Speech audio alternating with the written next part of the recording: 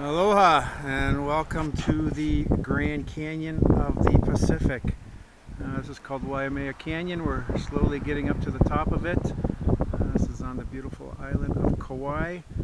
Um, I have to say that uh, this canyon has definitely got the Grand Canyon beat. Uh, colors are amazing. Uh, it's just uh, beautiful, absolutely spectacular. On the island of Kauai. They say the Grand Canyon's uh, in the top 10 uh, most beautiful places in the world. Uh, I think so. That's where we're going to hike next time. A three day hike.